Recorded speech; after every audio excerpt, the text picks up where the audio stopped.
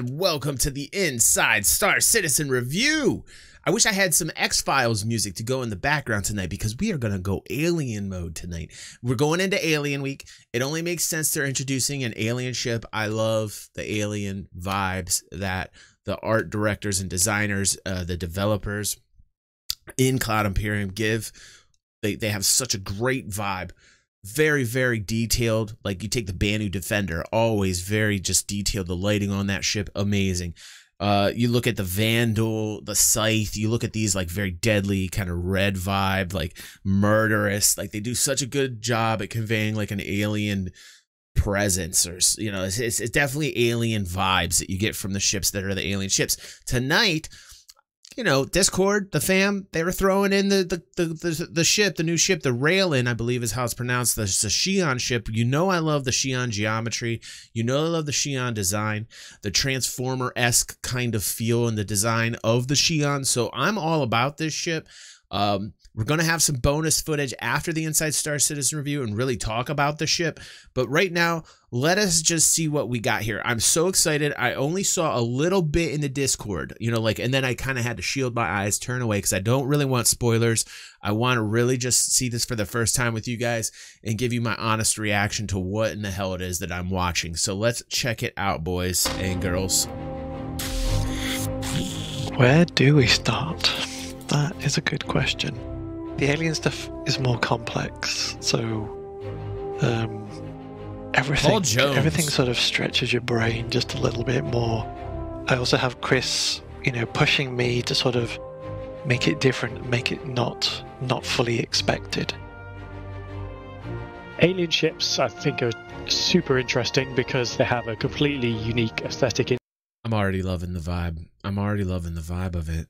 Uh, shout out to Paul Jones, by the way. When I had computer issues, he he donated like fifty bucks to help us get back on our feet. So shout out to Paul Jones. Love that dude. Inside, and this ship particularly, we wanted to create a alien cargo ship.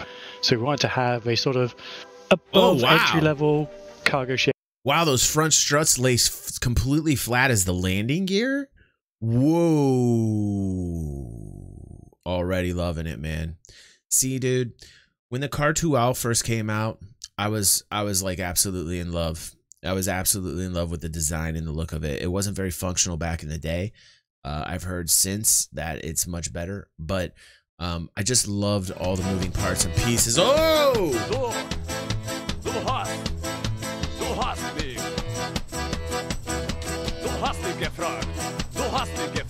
It's back! The polka is back. It's been a while since I've got the polka, man. What just happened there? That's cool. Thank you, Anarchy. Welcome to the stream, bro.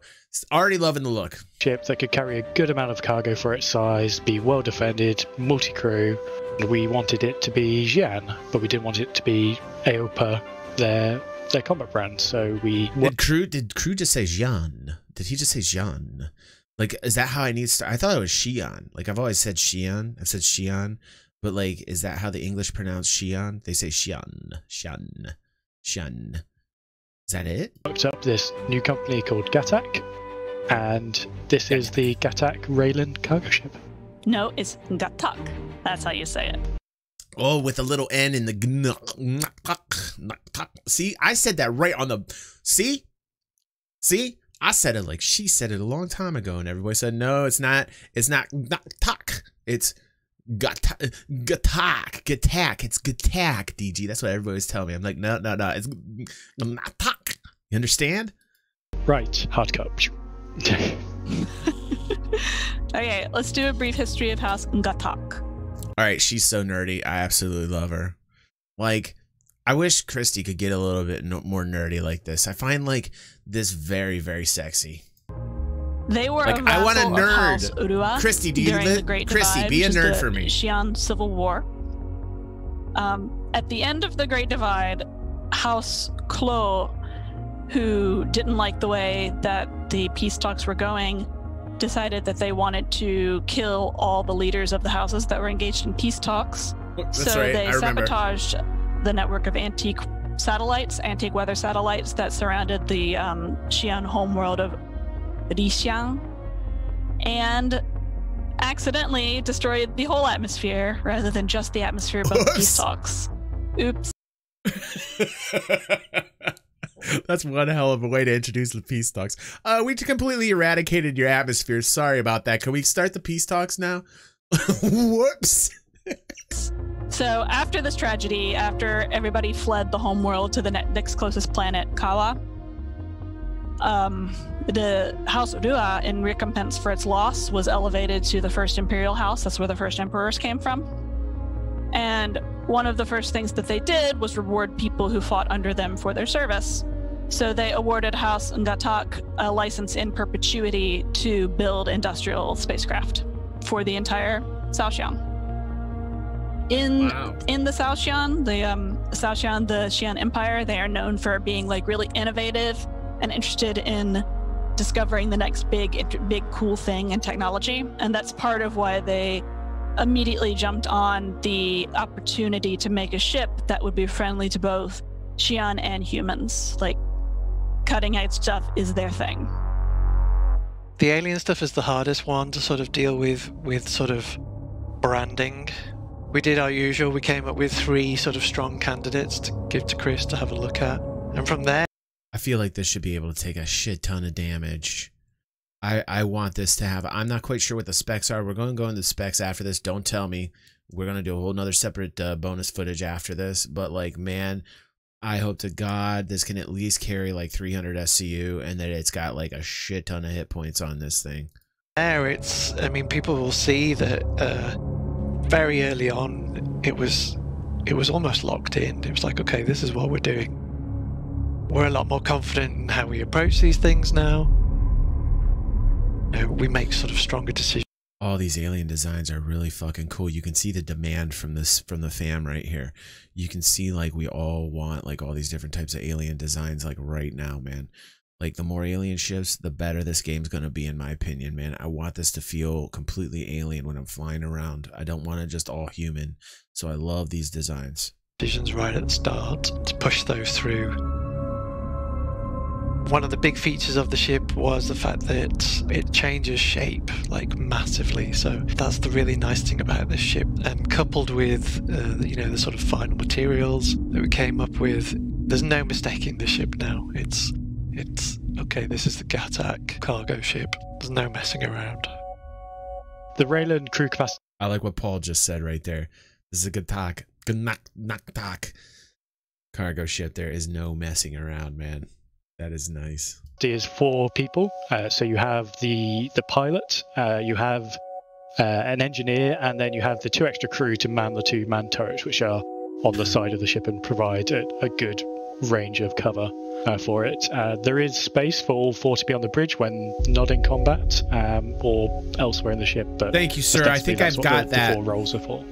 I'm gonna I'm going to put that on the platter. What uh, Sir just put there uh, and we will check that out. Thank you so much. Yes, I do have that one. I, I, saw Sir put some more information on here. I want as much information on the ship as possible when we're done with the Inside Star System review, so we can go over this and see if it's worth the money. It, just the for the design, has 320 right now SCU of cargo, and this is all pretty much external. You can see it on the back of the ship. Part visual choice, part gameplay choice. They are fixed containers on the rear of the ship, and the cargo goes inside them. So having it external allows us to keep the internals of the ship all nice and compact, but also does give a toss up in choice between do I pick a ship with lesser cargo but is more. The only the only constructive criticism I have is I would have loved that those weren't fixed. I'd have loved that those were like all pods that attached into it. That'd have been like pod, uh, podular. or modular actually, but let's just say podular uh, cargo design. That'd have been that'd have been a little bit more sweet. That'd have been a little bit more sweet. Protected, or do I go for this, uh, which can carry more in one run, but has the risk of if I get jumped on in, in transit, my cargo is more at risk. That looks That's that something looks we fantastic. always try and do with our ships is not have one ship that is superior in every single way to another ship that's that's equal to it. We want there I to like be that. trade-offs.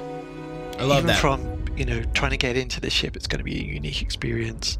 So you've, you know, essentially you've got a grav-lev platform that's going to fly through the air, come and greet you. You get on it, click a button, takes you up to the entrance of the ship through the airlock. That's where you first get your. Oh, dudes! oh, dudes, man! Dude, the Xi'an tech and the Xi'an like look and design is so out of this world, man. That was like stellar, man. That was like a flying carpet going up to your ship, man. You know what I heard when I saw that little uh, graphic there? This is what I heard. A whole new world. it's fucking flying carpet, man. Aladdin going up there. That was insane. Of the Xi'an architecture within this ship. When you choose to get on the lift to go up to habitation. um, you know, you've got a console that's made out of like 50 different pieces in it. Oh, it looks so goddamn good inside. Position and you click the button. Get on your elevator, which isn't the standard elevator either. At the moment, it's at an angle, so you have a very different experience of like transitioning up. Okay, do you know how hard it is to design something like that that's angular? I mean, like, my god, man. That had to be a nightmare to design this ship, man the people who designed this, just bravo right now. Just bravo right now. Do you know how hard it would be to design something like this that's all moving parts, that has an elevator that's diagonal, that goes up at like a 45 degree incline, man? That would be insane to, that would just be insane to design this. What's going on, Oz? How you doing, dude? Up through the floors, and the floors will also um, transform to sort of enable you to get through easily. So then when you're in the habitation section, you've got access to beds and lockers. You can go left and right to the turrets. So this is like a so this is like a human Xi'an kind of hybrid ship. Like so they designed this to keep humans in mind as well, huh? That's that's pretty that's pretty tight. And escape pods. And then you've got the dual race kitchen and bathroom section, and then sort of like a common kitchen area. And then are there human babies? Like what are in those? What are in those cargo containers in the uh, gallery? Wait, wait, wait, wait, wait, wait, wait. What? What are in these things, man? What's going on here in the galley?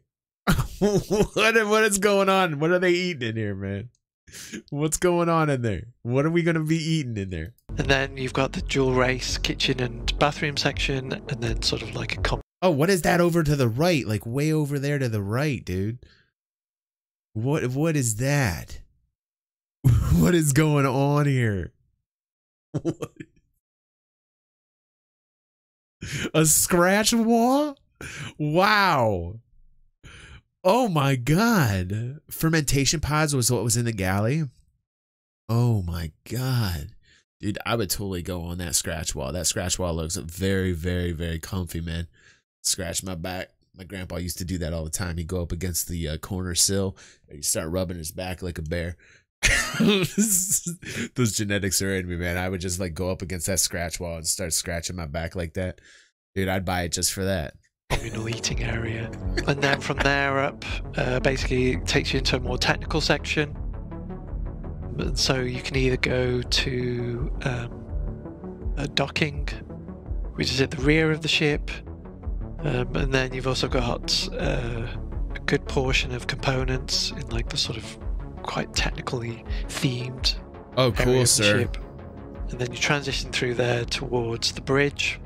And again, in there is um, we were looking at a way of being able to access components in a non-standard way. So the big stuff we've kept quite traditional because it makes sense. They're just there. Uh, but the smaller stuff, it's it's kind of like a component delivery system. So you choose which component you want to access. It's delivered to you. You can change out whatever it is you need to choose. Oh my god, the bridge is fucking tight. Absorbed back into the ship. Then you just transition into the bridge, open bridge, um, and then, like I mentioned, the captain and the um, co-pilot at the front in the oh. large, oh. like floating, almost like UFO. Oh style uh, seat. Dude, dude, this is like a cartoon all on steroid crack, on steroids, crack, and heroin at the same time. Like this is like, this is this is amazing. All these moving parts and pieces are ridiculous. Dark ass, can we speculate on these backpacks? and then Oz says backpacks are Xi'an mind control attachments for the humans. Heats. So I think there's plenty of great opportunity in there for in terms of animation and what we can do with what's spinning, what's moving, My what's God. reconfiguring. How tight uh, was that? I just gotta I gotta watch that animation again because that was just like the, I, I'm I'm fascinated here going up into the bridge area. Like that is that is really nice design. Change and then it's taken back off you and absorbed back into the ship. I mean, then what a crazy, strange viewing area. Um, and then, like I mentioned, the you're like hanging the, uh, out. You're hanging into it. You're literally floating into the like cockpit area. Almost like UFO. Yeah. Yeah, that is so uh, tight. So I think there's plenty of great opportunity in there for in terms of animation and what we can do with what's spinning, what's moving, what's reconfiguring. Um, so I think the ship team is going to have a lot of fun with that. Yeah, all this all this Gravlev stuff, dude. Yeah, man. DY, that's that's such a cool idea. Like if engineering, you know, like engineering in a Xi'an ship would be slightly different than a human ship would be really awesome. And that if like electrical components or electrical malfunctions happened in a Xi'an ship, that like you lost like all that Gravlev tech, dude, or like uh, you know, like it basically everything starts falling apart and transformations of the ship slow down. That would be really, really tight, DY. That would be awesome. So what does the Railen add to Star Citizen as a whole? Where damage on the outside of the hull, if if if the hull takes damage so much, these these pillars, these strats, uh, these struts break off, or like mechanically they don't move the same anymore. That would also be really cool. That would also be really cool. It really increases the diversity of spaceships. Um, yeah, yeah, Dutch, same, same, dude. They are entire races of creatures, and they don't just have combat ships. They oh wow, yeah, missiles good. Needs, they have their own transport needs. So whatever we do as the human race, there there is going to be mirrors for for those races. Ooh, I like that. The door on the aft right there, going out the back. You see the uh back section. Man, that's so alien, dude. That is such a good job. Like, I love the lighting. That kind of purpley blue kind of lighting mix. That's really nice too when you are traveling through all the solar systems in the game, you don't want to just be seeing the the same freelancer or the same hull everywhere. You want this variety of ships to encounter and ships to. Oh, Xi'an tank cabbage? That would be badass, dude. The Gatac Railen, and I hope I'm saying this right, is the newest addition to Star Citizen's expanding line of alien vehicles. As well- Jared's like, and I hope the lore people don't bone me on this one, you know, because listen, it looks like attack. like, don't get on me. as well as the first from our newest Xi'an manufacturer. And you can learn even more about this ship, like all of its stats and capabilities, when it's revealed as part of this year's Alien Week festivities, beginning this week, which also includes the return of the tremendously popular baking contest, so get your ingredients ready. And to help you prep for all of the Alien Week festivities, let's check in now with the narrative team for a brief refresher of the known alien cultures of our galaxy. Or perhaps meet them for the very first time. See you, Mind's Eye. Have a good day, bro. You're gonna miss all the fun, man. But have a good night, buddy. Thanks for the, the thanks for the biddies, bud. People in the world to ever go. Mind's Eye's got the best timing ever because they love sports, uh, and but they don't really care about the teams and it's kind of confusing for humans to go to a game with a large Banu crowd because the Banu just want to see exciting, cool stuff happen. So they're cheering for everyone throughout the game. They are totally up for having fun whenever. Like they work hard, they play hard, they take cat naps. They are extremely interested in enjoying life. Their society is organized around these work family guilds known as Soulis, where they're adopted from a young age as kind of an apprentice by a Souli that specializes in um, manufacturing spaceships or making weapons or cooking. They're very quick to give favors, but they also expect a favor in return. So be careful. Yeah. a Banu asks you to, you know, pick them up at the airport. The Banu is the first alien race that humanity ever had contact with. There was Thank a God. human pilot kind of out seemingly in the middle of nowhere named Vernon Tarr who was scanning for a jump point. Came upon a Banu vessel and Ooh, they fired upon it thinking it Okay, that's pretty badass. That they're that. Okay, this is a story out of lore that I that I did in my lore video like years and years and years ago, and they're actually doing like some machinima to it. Wow, dudes! Wow, that's cool. It was like an enemy ship. But once they got close enough, they realized, oh heck, that's an alien. That is so cool. Run-in that was initially very tense, but we quickly came onto friendly terms with them. They were happy to find new trading partners, and we were very happy to encounter aliens for the first time.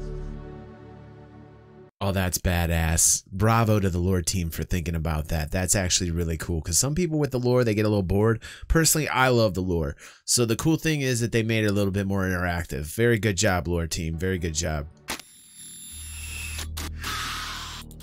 The Tevarin are a I like this. They're going into all the alien cultures, man. Tevarin are one of my favorites. I think the Tevarin is probably my favorite alien race, man like they re- they remind me of the Japanese or the uh like they, they got that kind of Japanese bonsai feel, you know what I mean? Uh it just I just I don't know why the Tevarin remind me of the Japanese, but like it just kind of reminds me about the Japanese culture. Uh, everything's very angular, kind of samurai-ish. Like everything about the Tevarin makes me feel that. Just does. Martial Society. They immediately tried taking our territory and it was very hostile. Oh, they're redoing this too. This is fantastic. Two large wars the first Tevarin War and the second Tevarin War. As a culture, they're actually my favorite. It feels like there's a lot of opportunities yes, for really interesting, I agree. haunted characters. Yeah, yeah. The big motivation for them is that their people hadn't developed uh, terraforming technology, and so their space to expand was very limited to worlds that were naturally habitable. Uh, they were first assimilated into avian. the UEE by force very after avian. the first Tevarin War, and after the second Tevarin War, they voluntarily assimilated themselves. They, as a people, decided collectively to throw their culture away. Humanity got a lot of our shield tech from them, like air shields were a Tevarin invention, so we didn't have them before that war. Wow. You can see that in their ship designs, with the Prowler having these unique drop bays with the air shields for people to exit out of. A lot of Tevarin history was actually preserved by the UEE after the Tevarin themselves tried to purge it. Now, currently, we're seeing them enter a new phase of where the first Tevarin senator was recently elected this elevation of a Tevarin seems to have sparked a recent interest in a cultural revival. Yes. So Tevarin are now starting to relearn their once lost language and starting to dabble in bits of yes and becoming more Tevarin again and saying you know what? Maybe i don't want to be sublimated by the human culture anymore you know? Like there's that kind of like unrest in the background man that unease you know? Like hey man they might just start back up. Just be like fuck this shit. Tired of humans again you know? Mm. the culture that was once lost. I like that they're survivors. They saw the writing on the wall and they found a way to keep themselves and their families alive in spite of I am a horrific right. situation. Right. A great thing about the Xi'an, they're kind of known for their rather pungent eating choices amongst humanity. They kind of poop like birds do, so it's just they don't pee. They just do like the combo. So uh, if you see what looks like a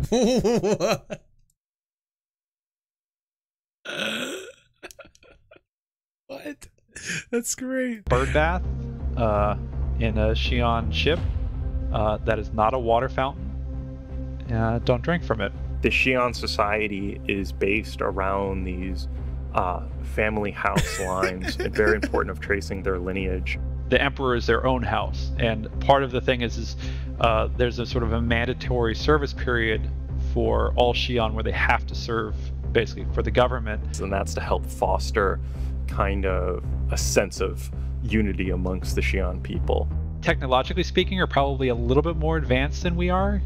They are masters of anti gravity tech from a very long time before they discovered space, like jumping, jump tunnels, and things like that. Xi'an yeah. are very long lived. And so their view of time is different than humanities. Partially because of their philosophy, Litova, which is a kind of a moral code and a system of belief. There was very close to an interspecies war kicked off when we first met the Xi'an. It was during sort of like this gold rush era where everybody was just out trying to terraform planets as quickly as they could to try and secure, you know, mining rights the Xi'an, who were already in the system, saw we these strange aliens trying to terraform a planet that was in their ter- territory and went, hmm, that's a little weird. What's going on and here? And then forcibly captured all the humans, contacted the human government, and said, hey, you guys left something in our system. We don't like it. Please take it back. Vanduul look kind of mysterious. We don't know much about them. We They'll eat your babies.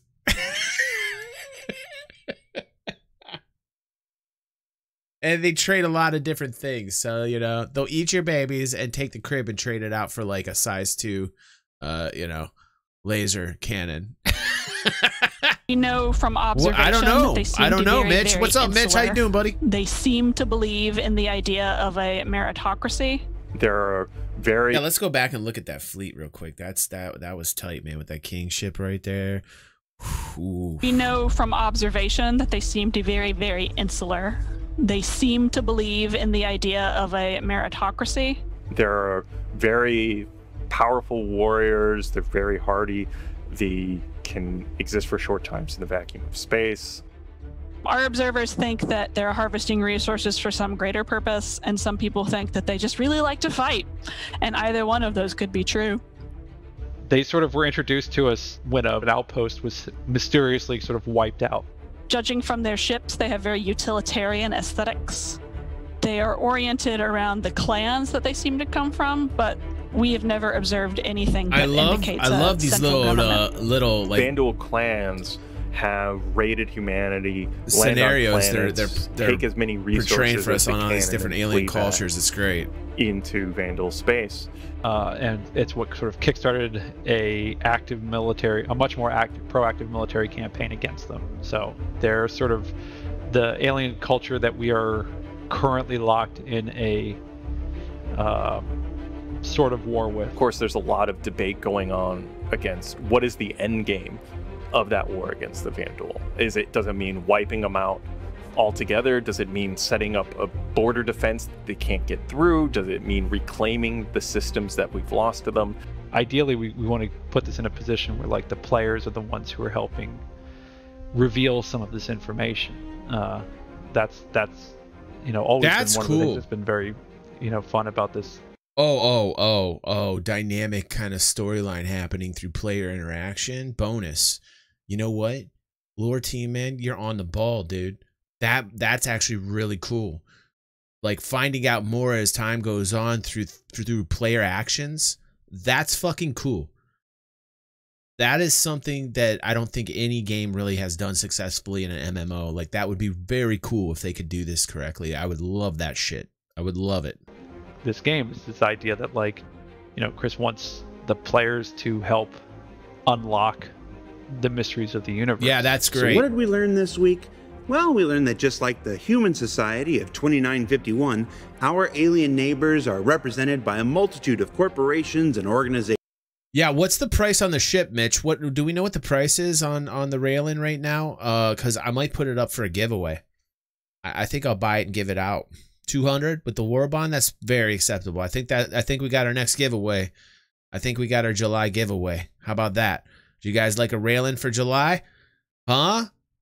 Huh? You guys have been supporting the channel so much. I think that's what we're gonna do for july. This month either a prospector or a connie tourist man. We're bumping them up. We're bumping it up man. Let's do it. We'll, we'll throw in the skin too. We'll do that for july. How about that guys? That sound good? All right. You guys are fucking awesome. You guys deserve it. That a greater variety of alien vehicle offerings helps to build a more diverse and interesting universe to explore. And that for the for the aliens themselves, the Banu are clearly the best. Or the Xi'an. Maybe the Tevarin. Which one poops from their mouths?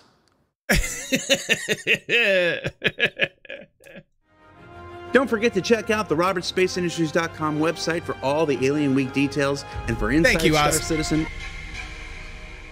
It must be so. Kawato DG says it must be so. It's fucking little hands, man.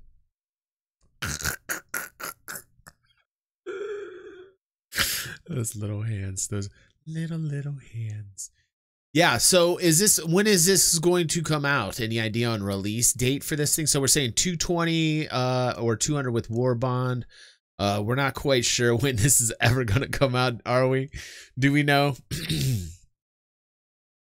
like, when when are we going to get the Railen? Any idea? It's in white box right now. Mm. Okay. Okay, now there's some interesting uh, information that I do maybe have. It's speculation, and we'll go over it after the Inside Star Citizen review, which it is right now. Let me do what Jared's doing. It is right now the end of the Inside Star Citizen review. It's been a quiet night. It's been a quiet, intimate night. Feel much closer to everybody here tonight. If you're watching this on YouTube, thank you. Don't forget to like and share if you're not uh, here with us live and you're not feeling that first level energy, don't worry. I'm going to try and do some of these a little bit earlier for our EU audience. I love you guys. We're global. I got to start doing some of these a little bit earlier for you guys. I understand schedule's been crazy. Don't worry. I will try and schedule a few a little bit earlier. But I have to say, we are going to have more fun. We are going to have an after party.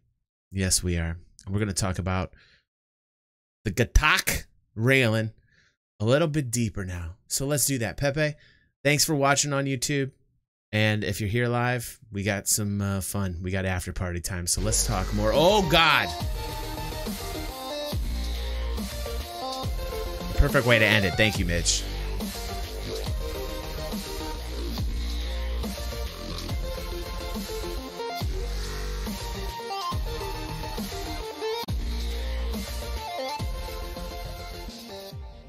We're very excited.